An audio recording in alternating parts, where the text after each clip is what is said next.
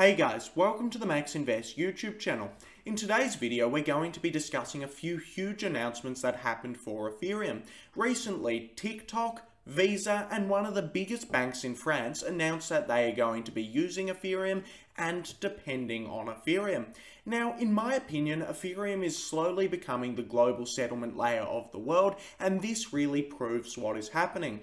Of course, if you enjoyed the video, remember to like and subscribe to the channel, follow me on Twitter, join the Discord, and remember, nothing in this video is financial advice. So, the first big announcement was from Visa. Now, many of you would know Visa. Visa is one of the payment giants. Visa has a market capitalization of $400 billion, and every time you pay somebody with your credit card or debit card, well, Visa gets a cut out of that payment. So Visa is a huge company and Visa have essentially said that they want to build a universal hub to exchange stablecoins and central bank, bank digital currencies. Visa have essentially said that they want to build a layer 2 solution on top of Ethereum that anybody can transact on. And this is absolutely massive news, probably the biggest bit of news that Ethereum has ever gotten in my opinion. So essentially what Visa have done is Visa have said that they're going to build a universal payment system on top of Ethereum. Now, let's discuss exactly what a universal payment system would look like, how that universal payment system will be on top of Ethereum, and why that universal payment system will be on top of Ethereum. Essentially, the way that Visa want to do it is that every time you send money to someone else, it's on top of the Ethereum network. So, essentially, what's going to happen over the next couple of years is central banks like the US Bank, the Australian Bank, the Chinese Bank are all going to make central banking digital currencies. Now, these will be completely centralized dollars that are issued by the countries that are cryptocurrencies. As such, what Visa have said that they are going to do is they are going to facilitate the transactions of these cryptocurrencies or these central banking digital currencies on top of a layer 2 network on Ethereum. Now, the reason that you would do this is everything is fully transparent. On top of Ethereum, you can see every single transaction that was made, where it went, and it's stored there forever. Now, you can also verify every single transaction of Ethereum. You can see if any transactions are fraudulent, and this will be very, very useful. Also, Ethereum is completely immutable, it can't be tampered with, and this is a very safe way to store all of the world's transaction data on top of. This is essentially why I believe Visa would be doing this. So, how big is this? Well, what this is going to mean, and I do believe that this is going to happen within the next 5 to 10 years, is every time you send money to someone. So if I send money to someone on Westpac, if I send $5 to someone, what I'm going to be doing is I'm going to be paying Ethereum in gas fees, and that transaction will be facilitated on top of the Ethereum network.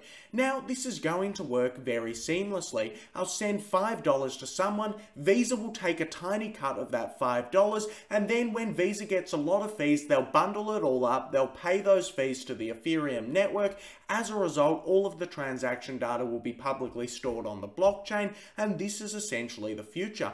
This means anytime someone sends money, anytime a bank sends money to another bank, an individual sends money to someone, it will all be recorded and stored on Visa, as or on the Ethereum network. Essentially, Visa have said that they want to put the entirety of global payments on the Ethereum network. Now, Visa haven't begun developing this yet properly, and it is still in the early planning stages. Not everything has been planned out just yet, however, I do believe that the entirety of global payments will be put on top of the Ethereum network, and as a result, Ethereum is going to get a lot more value to it, as it simply is going to happen. Blockchain is the future, all of our assets, all of our money will eventually come on chain, and Visa have verified this here today for us, which is huge news. Now, Visa have said that they're going to be building their own layer 2 scaling solution to do this. Of course, the reason for this is so it's a lot cheaper for individuals to transact between each other.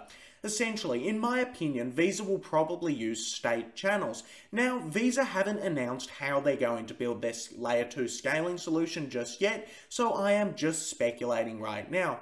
Essentially, what happens in a state channel is individuals transact off-chain. Individuals send money to each other, get money back, and they all transact off-chain. However, all of these transactions are finalized on-chain in a small cryptographic proof. Essentially, what this means is it's very, very cheap, and you still get Ethereum's decentralization and security. Of course, you will need to pay Ethereum in gas fees to do this, as it will eventually be settled on the main chain. So this is a very good scaling solution, and if Visa are watching, which they're most definitely not, I would suggest state channels as it's probably the best option to use for specifically a payment system. Of course, Visa could use a whole bunch of other scaling solutions such as rollups, Validiums, Plasmas, however, I do think state channels would be best suited to Visa in this case. So essentially, that's the end of the news with Visa. Visa have basically announced that they're starting to build the entire global payment system on top of Ethereum, and Ethereum is still sitting at 3,000 US dollars. Let that sink in. The next big bit of news is one of France's biggest investment banks called Societe Generale is doing a lot of new things on Ethereum. Essentially, Societe Generale is one of the biggest banks in France and it has $1.788 trillion worth of assets under management. It's also making $24 billion a year, so it's absolutely massive. Now, a couple of months ago in April, this bank launched $100 million worth of government bonds off the Ethereum network. A huge move for Ethereum and a huge move for banks, bringing assets on chain, and this is very good to look at. Now, just a couple of days ago, on Thursday, this bank essentially applied for a $20 million loan on top of MakerDAO, and they wanted to use those assets as collateral. They wanted to use their bonds that they issued on the Ethereum blockchain as collateral for a $20 million loan. So this is some huge developments in the space, and it shows that banks all around the world are starting to use Ethereum. This is just the start, however, I do expect this to continue happening into the future and keep going into the coming years. This bank has talked about bringing more and more assets on chain. They have said that they do want to bring the majority of their assets on chain. Now, the reason for this is because you can track every asset, every asset is publicly verifiable, every asset is stored on Ethereum forever, and you may as well do it. I do believe that eventually all banks are going to bring all of their assets on chain, and Societe Generale is one of the first banks to start doing this, one of the biggest banks in France, already launching bonds on chain, already applying for the loans on chain, and it really does look like they have a very, very bright future ahead of them, and Ethereum therefore has a very bright future ahead of it. So, it really does look self-evident that all financial institutions and all banks will eventually be using Ethereum. The biggest players in the entire world have already started making out plans to use Ethereum and it looks very good. Now, this is one of the reasons why I'm not that worried about regulation. A lot of people are worried about regulation on cryptocurrencies, however, when all of the biggest banks and financial institutions are dependent on the Ethereum network, well, the government is going to need to accommodate for that if they want to have any economic growth, and I expect this to happen. Now, the last big bit of news is TikTok have announced that they're going to be using the Ethereum network. Essentially, TikTok has 1 billion users and it's a company that's valued at over $100 billion.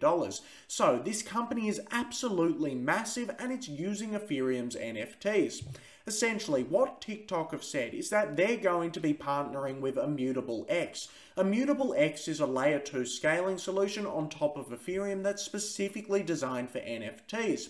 Basically, Immutable X used zero knowledge technology to make the transaction fees a lot cheaper, so it only costs a couple of cents every time you want to buy and sell an NFT, which is great. What TikTok have done is that they're announcing their first ever NFT collection. This NFT collection is called TikTok Top Moments. Now, the point of this NFT collection is for individuals to reward the creators. What this means is there'll be a bunch of NFTs created by and for the most famous creators.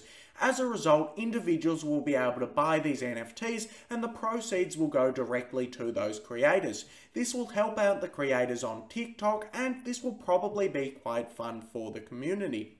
Now, this is like Visa. Essentially, this announcement isn't too big. It's definitely a big announcement, however, there's a lot more that TikTok could do with Ethereum. In my opinion, I believe TikTok are going to be using Ethereum and Immutable X a lot more into the future. TikTok have said that they're partnering with Immutable X, and this probably means that they are going to continue using it into the future. Essentially, with Visa, I said that Visa was probably going to use Ethereum a lot more. Visa bought a CryptoPunk off the Ethereum network just a couple of months ago, and I essentially said I do believe Visa are going to make a lot more plans to be working with Ethereum into the future. Of course, this ended up happening. This partnership essentially shows that one of the biggest companies in the entire world is embracing cryptocurrency and using the Ethereum network. As a direct result, this company will probably use Ethereum a lot more into the future. This isn't just speculation, this is definitely going to happen. They've partnered with an Ethereum-based layer 2 scaling solution, and I can guarantee that once this NFT collection makes TikTok a lot of money, TikTok are going to be going more and more into NFTs, and eventually TikTok will probably become an application on the Ethereum blockchain. In my opinion, this isn't speculation. I can see all of this happening, and I am sure that a lot of these bigger companies already using Ethereum will continue to do more and more to Ethereum, and this is why I believe that Ethereum will continue to appreciate into the next couple of years. Anyway, this brings us to the end of the video it shows that tons and tons of different things are happening for Ethereum right now. The biggest companies in the world are partnering with and using Ethereum and I'm more bullish than ever. Anyway, if you enjoyed the video, remember to like and subscribe to the channel and thanks for watching.